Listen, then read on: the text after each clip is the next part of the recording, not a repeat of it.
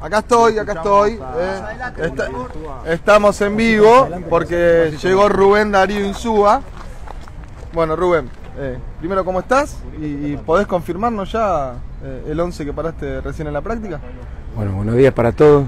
Eh, sí, si no hay ningún inconveniente, eh, mañana el equipo va a arrancar con Altamirano,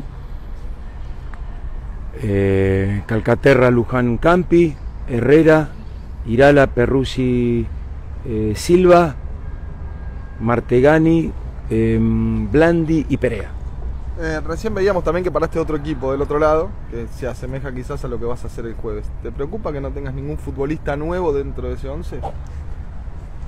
Bueno, hoy estamos pensando como corresponde en el partido de mañana y bueno, empezó a entrenar Carlos Sauski hoy, ¿no? Eh, pero bueno, creo que primero tenemos- estamos, eh, por supuesto, apretando la atención al compromiso mañana, después pensaremos en el de jueves, pero creo que vamos a llegar muy bien a ese partido. ¿Qué, qué jugador esperás de, de Auski? ¿En qué posición lo querés? ¿Cómo lo ves? Ah, es un delantero eh, de mucho juego externo, de muy buen último pase, rápido y una experiencia muy buena eh, en Europa, con un equipo que salió campeón el año anterior, bueno, temporada anterior, que terminó ahora en junio, y jugó partido de Champions, así que está bien físicamente, hizo la pretemporada. Eh, digamos que tiene algunas características similares a la de eh, Ceruti, ¿no? ¿Cómo te tiene ese tema, el tema de refuerzos? No, no, tra- tranquilo, nosotros tenemos la cabeza puesta en el partido mañana. Eh, después eh, volveremos a, a pensar en seguir eh, fortaleciendo al equipo, ¿no? Rubén, imagino que no fue una semana fácil para Martegani, lo pusiste el otro día, rindió, de hecho pateó un- uno de los penales. Te- ¿Hablaste con él? ¿Tuviste algún tipo de diálogo? ¿Mañana va a ser titular? No, yo lo vi siempre muy tranquilo, muy compenetrado acá en, en su trabajo, ¿no? Entrenando bien, está ya nuevamente eh, adquiriendo su mejor forma.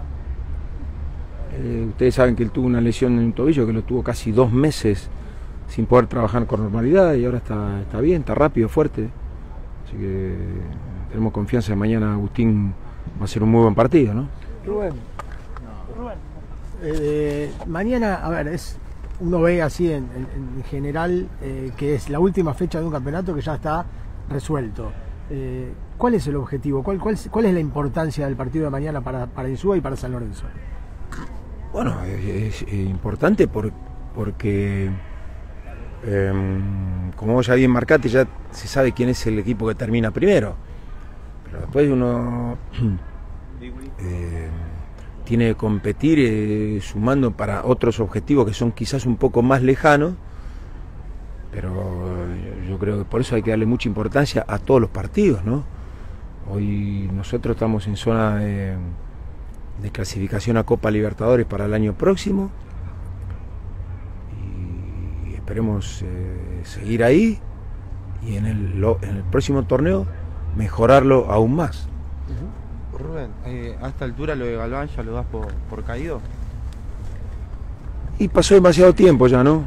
Eh, cuando iniciamos el tema, eh, el jugador demostró mucha ganas de, de venir, eh, estuvo ajeno a todo esto. Lo que pasa que, eh, bueno, eh, el dueño de su pase, él estaba préstamo en otro club y no sé, por lo que tengo entendido hasta el día de hoy, no se pudo terminar de resolver todas estas cuestiones pendientes. Si se resuelve eh, prontamente, estaría bien y si no, buscaremos otra alternativa, ¿no? Se hizo muy complejo todo, ¿no?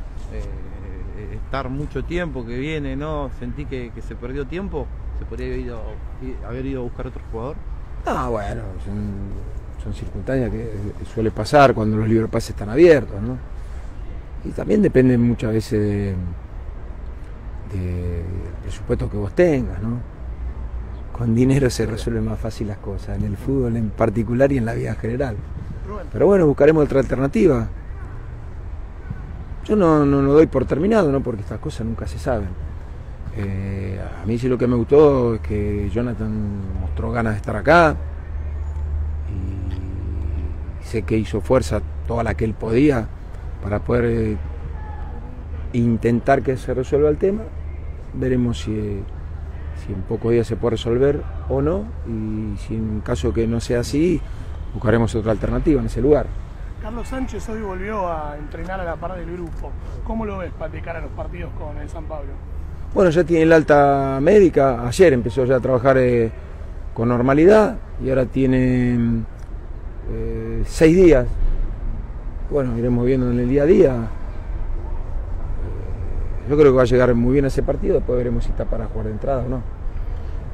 Se dilate bastante esto de las incorporaciones, Rubén. ¿Te hace pensar tal vez en, en subir a algún otro juvenil?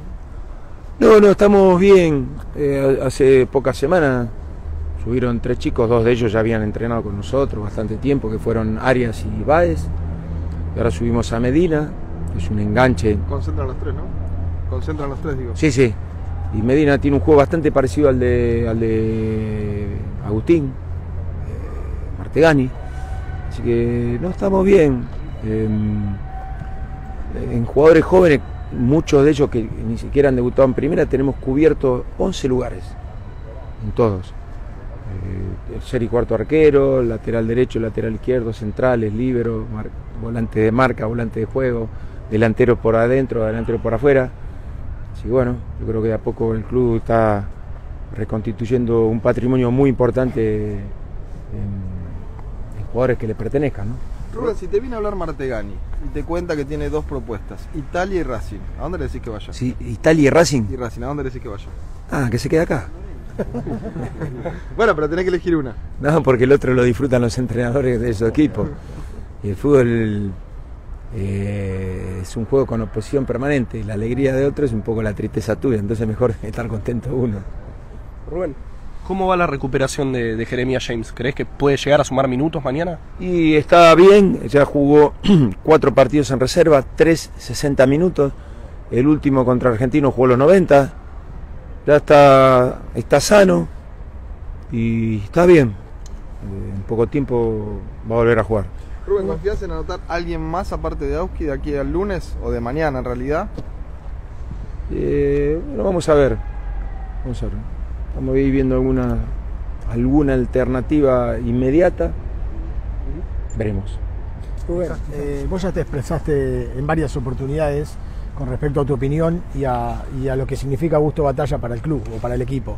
Eh, ¿Hablaste con algún dirigente? Eh, mañana podría llegar a ser el último partido de Augusto Batalla en el caso que River eh, ejecute la cláusula como, como se rumorea por ahí de que pueda ser vendido. ¿Sería un golpe duro, digo, para, para- por perder un jugador de las características de él? No, él tiene un contrato hasta el 31 de diciembre acá, en el club. Y es cierto que el dueño del pase, en este caso River, eh, tiene una alternativa, se llama ahora, repesca. Pero también ahí importa la opinión del jugador, ¿no? Y él está contento acá. Yo creo que River, que es el dueño del pase, por supuesto que merece, eh, es quien decide cuánto vale el jugador y después habrá que pagarlo. Pero creo que River tiene en este momento a Armani, que es el arquero campeón del mundo. Nosotros tenemos acá batalla, así que están contentos ellos y estamos contentos nosotros. Y al jugador hay que dejarlo tranquilo. Y esperemos que se quede mucho tiempo acá. Y San Lorenzo va a tener que hacer un esfuerzo. Primero para comprarle el pase a River, que es el dueño de su pase, y después para arreglar un contrato largo con el jugador y que esté contento acá y que no, que no esté evaluando una alternativa de ir a jugar al exterior. ¿no? Yo creo que a él le va, le va a ser bien quedarse acá en San Lorenzo porque esto reflexionando en voz alta, ¿no? con mucha humildad. Creo que en el futuro puede tener alguna, o va a tener seguramente, manteniendo este nivel, una posibilidad en la selección argentina. Y va a ser más fácil estando acá que estando en el exterior. Rubén, a eso iba. Hoy es Augusto el mejor arquero del fútbol argentino en Argentina. Bueno, mi opinión ahí no tiene mucha validez porque hay un, digamos, un afecto personal y profesional en el medio. Pues yo creo que ha demostrado eh, que es un gran arquero, un equipo grande, eh, ha tenido un comportamiento excelente, que es lo que nosotros buscamos los jugadores eh, acá, compromiso con el club, eh, con sus compañeros, con su lugar de trabajo. Bueno, ojalá se quede mucho tiempo acá, como dije anteriormente. Es un gran arquero y algunas cualidades Estoy hablando ahí con el resto del cuerpo técnico, con dos arqueros que pasaron por acá por el club y dejaron una huella muy grande, como eh, primero José Luis Chilaver y después Saja, y creo que Batalla se parece bastante a ambos, ¿no? Tiene un estilo bastante similar en su característica de juego y en, en su perfil, en su personalidad. Bueno, Saja estuvo con vos en la Sudamericana. Sí, también pateaba penales. ¿Está para patear tiro libre? Que se parece a Chilaver. Eh, todavía no, no, no lo descarto. Saja pateaba, eh, muy bien, buena reflexión. Pateaba penales y tiro libre y por ahora, eh, Augusto, queremos que ataje y que patee penales nada más. Rubén, Sao Paulo contrató a James Rodríguez. En lo económico está claro que, que no se puede equiparar. ¿Qué Parece tiene que hacer San. Lorenzo para equipararlo? Bueno, eh, ayer eh, algunos de tus colegas me, me hacían una pregunta bastante similar. Ah, obviamente que es un gran equipo, San Pablo, eso está fuera de toda discusión. Eh, tiene gran- grandísimos jugadores, el, entrenador actual es el que ganó el año pasado la Copa con Libertadores con Flamengo. Pero después cuando se cruzan equipos argentinos y brasileños eh, hay, mucha paridad. Bueno, esperemos ser eh, dos partidos importantes y conseguir el pase a cuarto de final. En su momento vos pediste un 9. Después de cómo terminó la negociación con Prato, eh, ¿tenés algún 9 en mente para que llegue de cara, no sé si a los partidos con San Pablo, pero de cara al semestre? Sí, tenemos, digamos, uno o dos alternativas. sí. ¿Lo de Girotti lo ves posible que se pueda realizar este fin de semana? Sí, vamos a ver. No, quiero aventurarme en nada porque es hablar de muchos nombres y no vale la pena. Es preferible que se concrete para después tener cierta, cierta certeza, ¿no? Sí, tenemos dos o tres alternativas de jugadores que, que creemos que pueden ser un muy buen aporte. ¿Estás enojado? ¿Estás molesto con la situación o la entendés? No. Esta de que tarden en llegar los refuerzos. No, no. Eh, enojado no, estoy contento porque el otro día pasamos de ronda un partido por penales, ¿no?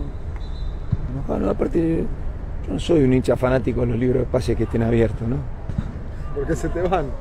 No, si te aparte- la billetera de Guardiola, quizás sí. Y tiene menos problema, es verdad eso. Como Perdió la final con el Chelsea y se enojó Guardiola y hizo contratar a Haaland. Claro. Bueno, es verdad. Pero nosotros estamos tranquilos y nosotros queremos que vengan, cuando vengan jugadores tienen que ser eh, jugadores eh, que, que den respuestas importantes en la cancha, no, no traer, eh, eh, por apurarse, traer eh, alternativas de cuales no estemos convencidos. Rubén, la gente a veces se molesta porque todos los nombres que suenan, y por ahí los que San Lorenzo va a buscar, son jugadores de experiencia, son jugadores grandes.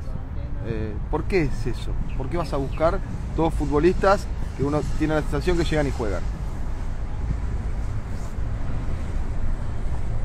por varias eh, por varias explicaciones. Primero porque los jóvenes y buenos lo tenemos acá nosotros. Muy buenos. Y después por una cuestión estrictamente relacionada con el aspecto económico. No es demasiado difícil darse cuenta.